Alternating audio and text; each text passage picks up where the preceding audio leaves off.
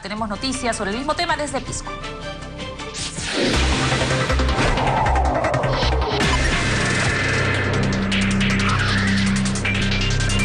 Ángel Camacho nos informa desde Pisco. Adelante Ángel, te escuchamos. Gracias, buenas tardes, directo en directo.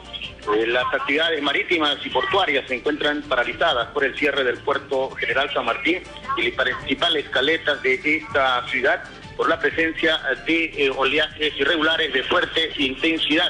Hay que indicar que eh, uno de los pescadores, identificado como Pedro Márquez, dijo que eh, estos fenómenos naturales afectan seriamente la actividad pesquera y perjudican económicamente a los pescadores artesanales. Asimismo, ha informado que en la caleta de Lagunillas hay embarcaciones que han sido oh, dañadas por los fuertes oleajes. En la información, en Pisco, directo en directo, RTP Noticias.